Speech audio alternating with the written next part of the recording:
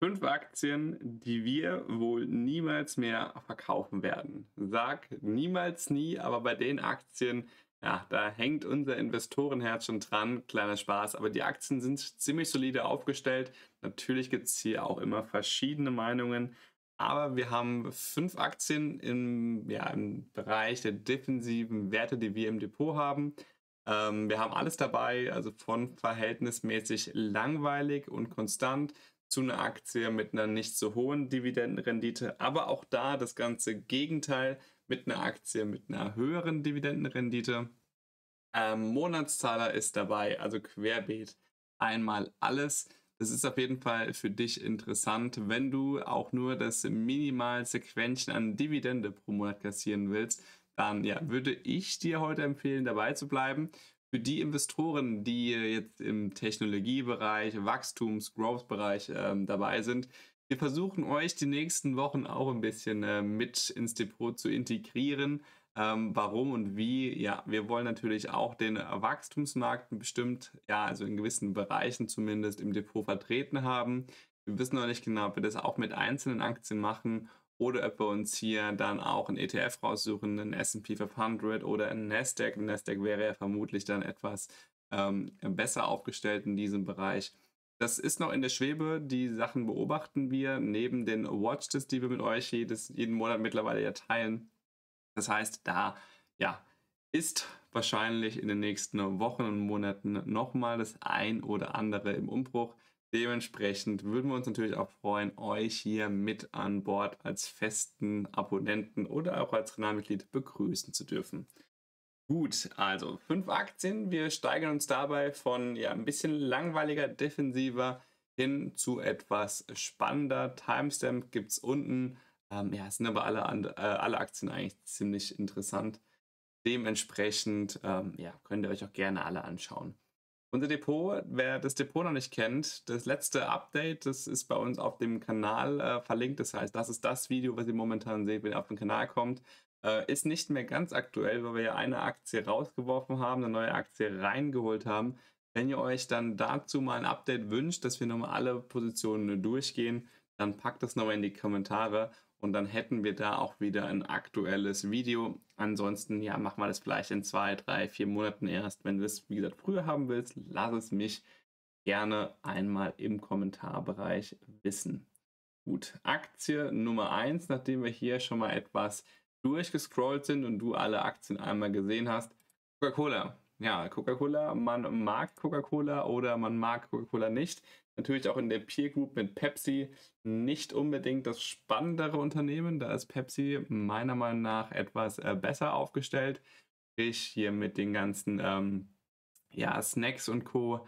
Ähm, hat ja, Pepsi eigentlich ein besseres Geschäft. Das Getränk selbst sagt uns jetzt persönlich, also auch im, im Freundes- und Bekanntenkreis, tatsächlich die Getränke von Coca-Cola wesentlich mehr zu. Und dementsprechend haben wir auch so ein bisschen ähm, subjektiv die Meinung, dass die Produkte von Coca-Cola einfach etwas äh, besser angenommen werden.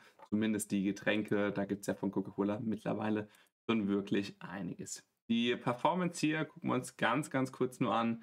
Ähm, Year to date minus 7%, nicht schön, minus 10% auf Jahressicht, aber maximal 187%. Ja, Coca-Cola ist hier einfach ein sehr, sehr defensiver Wert. Mit einem KGV von 25 nicht günstig. Ähm, aber Coca-Cola wird es vermutlich immer geben. Jetzt geht es ja momentan auch hin, ein bisschen die Getränke ähm, ein bisschen ja, gesünder zu machen. Das heißt, weniger Zucker rein. Süßstoffe sind hier so ein bisschen der Kritik. Hier wird Coca-Cola auch mit der Zeit versuchen, wie es hier weitergeht. Aber wir haben einen Free Cashflow von über 3 Milliarden Euro bei einem Umsatz von 40 Milliarden Euro wir springen hier jetzt auch gar nicht mehr groß in TradingView rein und schauen uns die ganzen Umsatz- und Gewinnzahlen an. Ähm, das machen wir alles ein bisschen quick and dirty. Ähm, ja, aber prinzipiell, die Zahlen passen. Wir haben eine Marktkapitalisierung von 240, 241 Milliarden Euro. Das heißt schon ein Dickschiff. Coca-Cola macht im Marketing sehr, sehr viel, ist in, auf allen Events eigentlich vertreten, egal wo, wo man ist. Schüttet nach wie vor eigentlich eine gute Dividende aus mit 3% kann man hier definitiv nicht meckern. Vierteljährlich mit 75% Ausschüttungsquote. Die Dividende wird auch regelmäßig gesteigert. Das sieht man hier in der Dividendenhistorie auch nochmal ganz gut. Und hier, ähm, ja, siehst du auch nochmal so die einzelnen Dividenden, wann die kommen und in welcher Höhe. Ja, wir haben jetzt hier schon die angekündigte Dividende für den Monat August. Ja, der Ex-Tag ist zwar im, im September, trotzdem haben wir die Aktie dann noch nicht mit in dem Dividendenvideo vom September. Das ist das letzte Video auf dem Kanal. Kommt dann erst wieder im Oktober, weil wir die Aktien ja immer nach Zahltag dort bewerten. Also dementsprechend Coca-Cola, ein sehr, sehr solides Unternehmen, natürlich im Bereich der Getränke, Snacks und Co. Hier steht es ja nochmal, Industrie ist Beverage, also Basisverbrauch. Ähm, ja, kann man jetzt sagen, ist es zyklisch? Ja, vielleicht ein bisschen, denn ähm, ja, muss ich mir unbedingt eine Coca-Cola holen, wenn ich jetzt in dem Fall kein Geld habe. Nee, Wasser tut es auch. Wasser ist eigentlich sogar das gesündere Getränk. Ja, schmeckt vielleicht vielen nicht so gut. Ähm, aber Coca-Cola für uns ein sehr etabliertes und am Markt sehr gut angekommenes Unternehmen. Dann suchen wir uns das zweite Unternehmen aus. Ist hier oben schon dabei. Wir hatten es eingangs erwähnt, dass wir auch ähm, eine Aktie dabei haben, die eine nicht so hohe Dividende hat. Dementsprechend, ja, es ist LVMH. LVMH ein Luxuskonzern wenn wir uns dafür mal die Year-to-Date-Performance anschauen, sind wir nicht bei minus 10% oder bei minus 7 wie bei Coca-Cola, sondern bei fast 16% Jahres und die Maximalperformance natürlich eine ganz, ganz andere Hausnummer mit 1400%. Das heißt, ja, hier gibt es eine niedrige Dividende, die absolute Höhe schauen wir uns gleich mal an. Dafür wurden wir in der Vergangenheit aber mit Kursperformance belohnt. Ist jetzt nicht unbedingt ein Garant auch für die Zukunft, dass es so weiterläuft, vor allen Dingen bei der Marktkapitalisierung von mittlerweile 400 Milliarden Euro. Ähm, ist LVMH schon eins der wertvollsten Unternehmen in Europa, wenn nicht sogar das wertvollste. Das heißt hier, ja, wo soll es noch weiter hingehen? Aber die Unternehmensphilosophie, die Preise für die Produkte werden regelmäßig gesteigert. Ist vielleicht auch ein zyklisches Unternehmen, allerdings die Zielgruppe von LVMH, sei es jetzt bei Taschen oder auch bei Getränken und Co., die hat das Geld in der Regel auch. Und hier sehen wir auch nochmal ein ähnliches KGV wie bei Coca-Cola. 25, das ist für uns ja in diesem Bereich, sind Unternehmen, die eigentlich am Markt angekommen sind, etabliert sind, auch wenn sie vielleicht zyklisch erscheinen, mit 25 in Ordnung bewertet. Natürlich nicht günstig, schon tendenziell teurer, aber das Unternehmen ist es halt auch wert, muss man dazu sagen. Earnings per Share 32 Euro, klar, bei einem Kurs von 800 äh, Euro pro Aktie ist das soweit nicht viel, aber in Ordnung. Wir haben einen Umsatz von 85 Milliarden äh, Euro mit einem Free Cashflow von 4 Milliarden Euro. Soweit kann man da nicht viel Negatives sagen. Klar, wir sind aktuell wieder so ein bisschen in der Korrekturphase. Vielleicht würden wir hier aktuell auch nicht einsteigen, aber das Video, wann wir in welche Aktie einsteigen, ist ein anderes. Ähm, aber prinzipiell ein sehr, sehr solides Unternehmen. Analysten sehen das Ganze ähnlich. Schauen wir uns hier die Dividenden an. Ja, nicht viel Dividende, sind immerhin noch 1,5 Prozent. Mehr als bei Apple, Microsoft, zumindest Stand heute. Äh, hier wird aus, äh, halbjährlich ausgeschüttet. Das heißt, die Dividende ja, wirkt dann etwas höher. Das ist natürlich, wenn ihr bei Coca-Cola vierteljährlich die Dividende bekommt, dann ist die hier halbjährlich bei dem äh, ausschüttenden Monat genauso hoch wie bei Coca-Cola, wenn nicht sogar noch ein bisschen höher, weil 1,5 mal 2 ist ein bisschen über der Dividendenrendite von Coca-Cola, aber es wird einfach nicht so oft ausgeschüttet. Ausschüttungsquote 32, äh, 37 Prozent so rum ist natürlich wieder etwas ähm, geringer. Das heißt, das Unternehmen selbst arbeitet noch ein bisschen mit dem Geld. Die Dividendenwachstumsraten sind hier aber sehr, sehr solide, gerade auf ein Jahr. Ihr seht es hier 71 Prozent, Tipp top. Da kann man echt nicht meckern. Wir hatten hier in einem Corona-Jahr einen kleinen Einbruch, aber immerhin noch auf solide 4,60 Euro. Hier unten siehst du nochmal die verschiedenen Dividenden. Das heißt, ausgeschüttet wird hier meistens im April und im Dezember. Macht aufs Jahr 2023, wovon jetzt momentan mal ausgegangen wird, beziehungsweise die Dividende ist anscheinend schon angekündigt. Also wird es hier höchstwahrscheinlich diese 12,50 Euro geben. Ist ein französisches Unternehmen ist nicht verkehrt. Ähm, das passt soweit alles. Aber halt von der Dividendenrendite hier etwas niedriger. Dafür historisch die Kursperformance hat das alles definitiv wettgemacht. Suchen wir uns Aktie Nummer 3 aus und bevor wir die Aktie gefunden haben, ja, als deutscher Investor möchte der Home Bias natürlich auch etwas bedient werden. Der Home Bias, davon spricht man, wenn man dazu tendiert, Aktien in dem eigenen Land, wo man selbst wohnt, weil man, weil man vermutet, weil man denkt, dass man die Aktie gut kennt, dass man die etwas höher gewichtet. Und wir müssen dazu sagen, wir haben auch die ein oder andere deutsche Aktie im Depot. Ähm, ja, wir schauen direkt rein. Das ist die Deutsche Post. Die Deutsche Post ist jetzt per se keine Aktie, wo wir sagen würden, wir würden sie niemals verkaufen. Aber hier entwickelt sich tatsächlich vieles in eine gute Richtung, dass wir Stand heute davon ausgehen, dass wir ja doch die nächsten Jahre, wir sind jetzt momentan, es wird viel online bestellt, ja, da braucht man eine Infrastruktur, jemand, der das Ganze verschickt und Co. Klar, Amazon macht das Ganze primär auch selbst. Amazon zahlt aber noch keine Dividende, dementsprechend Amazon nicht direkt im Depot.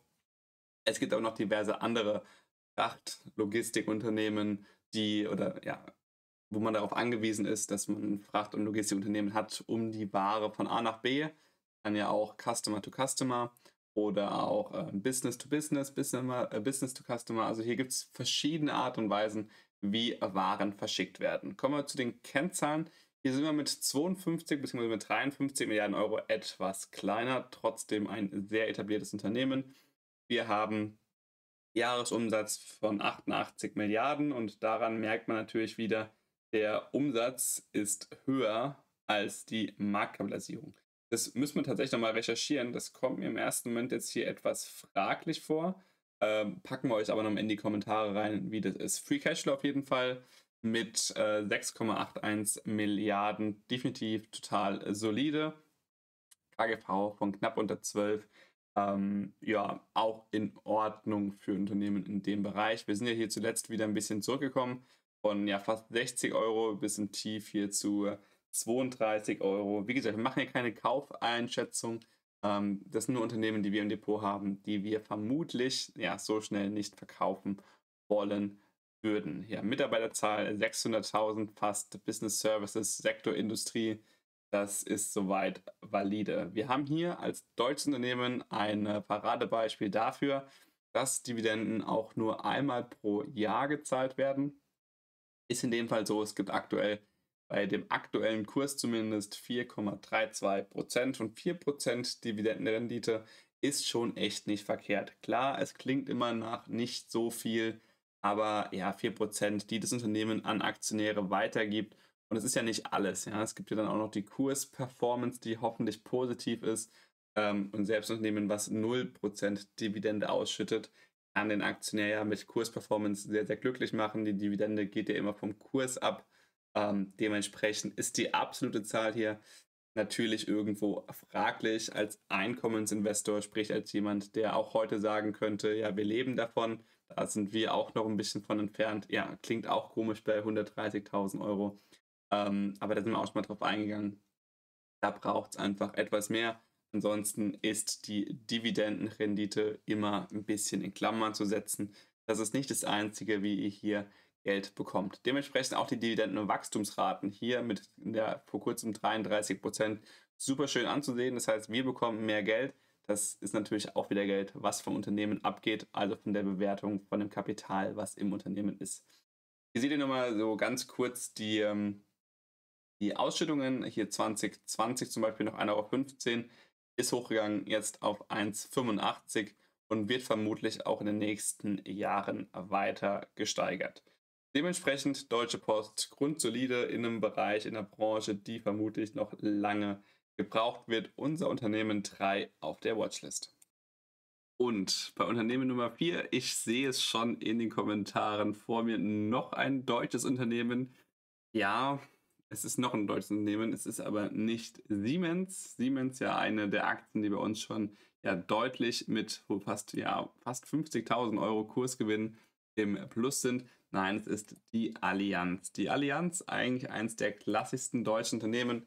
Year to date ebenfalls 12%, die es hier nach oben ging, auf maximal sich 125. Und das ist jetzt auch nicht so die Kursrakete gewesen. Wie gesagt, der Chart geht hier zurück bis ins Jahr 2003 hat aber den Hintergrund, dass hier auch viel an die Aktionäre ausgeschüttet wird. Dazu kommen wir aber gleich. Zunächst die Kennzahlen. Die Marktkapitalisierung liegt hier bei knapp 91 Milliarden Euro, der Umsatz ebenfalls. Wie gesagt, das müssen wir nochmal recherchieren. Ähm, packen wir euch bei Allianz und bei der Deutschen Post in die Kommentare. Ähm, ja, kommt mir gerade einfach komisch vor. Soll uns aber hier nicht stören, denn KGV von 11 ist für die Allianz ähm, historisch ja, minimal erhöht, finde ich aber trotzdem grundsolide. Bei Earnings per Share von 20 Euro und 47 Cent ist auch die Dividende sehr, sehr gut gedeckt und die Dividende liegt aktuell für das Jahr 2023 bei 11,40 Euro. Heißt eine Ausschüttungsquote von 56 Prozent. Es gibt eine Dividendenrendite von knapp über 5 Prozent. Und dementsprechend, wenn wir die 5 Prozent jedes Jahr auf den Kurs hier oben draufschlagen würden mit Zinseszins, dann sind die 125 Prozent, die es hier trotzdem noch dazu gab, nicht mehr so schlecht anzusehen. Die Steigerungsraten hier waren die letzten Jahre knapp ja, mit 6 bis 12 Prozent soweit auch solide. Ähm, wenn wir uns das hier unten einmal anschauen, da gab es 20, gehen wir mal relativ weit zurück, da gab es hier 2004 noch 1,50 Euro und jetzt, 19 Jahre später, gibt es 11,40 Euro. Das heißt, die Dividende ja fast verzweieinhalbfacht, ähm, verdreifacht nicht ganz, aber trotzdem auf jeden Fall solide. Die Dividende wird auch hier vermutlich die nächsten Jahre weiter steigen und auch ja prinzipiell die Allianz im Bereich der Finanzdienstleistungen, aber ja primär ein Versicherer in der Holdingstruktur, um hier vielleicht auch ein bisschen steueroptimiert vorzugehen. Macht aber jedes große bekannte Unternehmen mehr oder weniger so. Die kennen alle ihre ja, Hebel, ihre Tricks und lassen es natürlich auch einfließen, denn ja, der unternehmerische Grundgedanke ist ja auch Gewinnmaximierung ähm, dementsprechend hier Allianz Aktie Nummer 4 bei uns im Depot, die wir zumindest mal Stand heute langfristig halten wollen.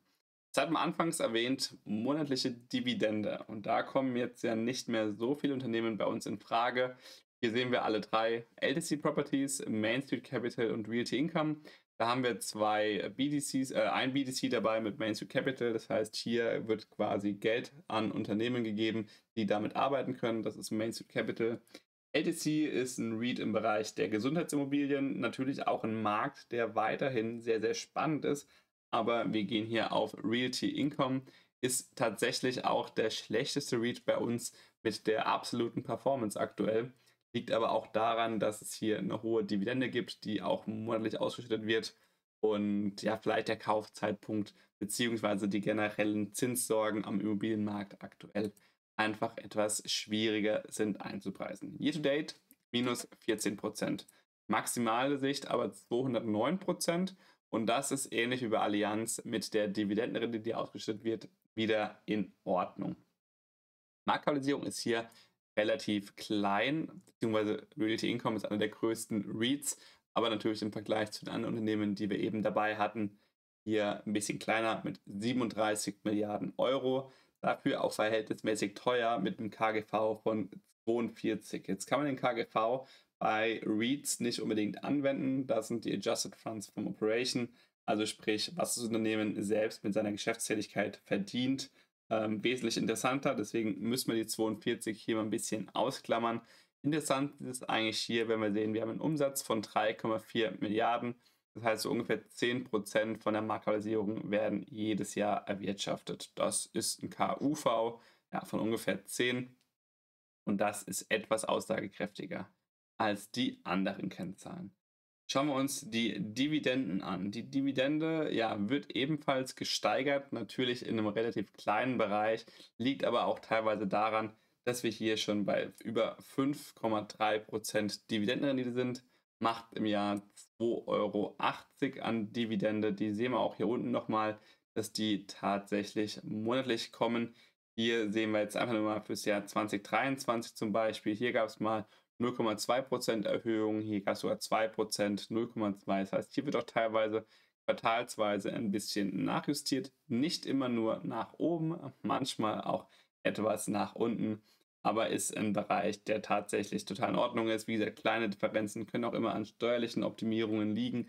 Das ist auch ein Bereich bei REITs, die werden meistens, die, die bei euch ja schon länger in REITs und BDCs äh, investieren, die wissen das. Hier gibt es immer diese steuerliche Nachverrechnung. Das heißt, Dividenden werden teilweise wieder abgezogen, danach mit ein bisschen mehr oder traurigerweise mit ein bisschen weniger wieder erstattet. Ähm, ja, ist einfach immer ein Prozess, der ist etwas nervtötend, liegt aber halt auch dann daran, dass Realty Income mit diesem REIT-Status selbst ein paar Steuern sparen kann. Das Ganze ja, wird dann nicht unbedingt zu Lasten der Aktionäre, aber wir haben natürlich dann diesen kleinen Aufwand, je nachdem, wie akribisch man das Ganze tracken möchte, ähm, ja, mit den Dividenden in der absoluten Höhe. Das waren jetzt mal unsere fünf Aktien, die wir ja aktuell zumindest relativ lange halten wollen.